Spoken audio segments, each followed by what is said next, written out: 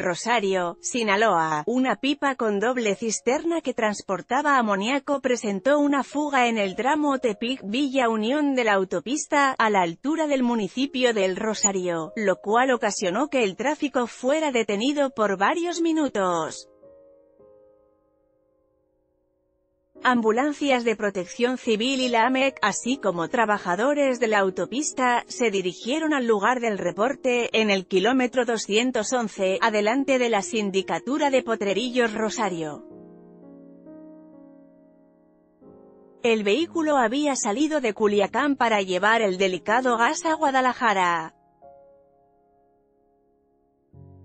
Foto, el debate, de acuerdo con los informes, una válvula ocasionó que el amoníaco líquido se fugara por la primera cisterna.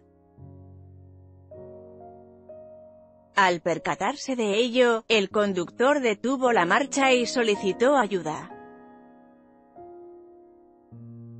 Luego de solucionar el problema, elementos de protección civil y trabajadores de la autopista vertieron agua en el área en que cayó el material a fin de que no representara peligro para los automovilistas.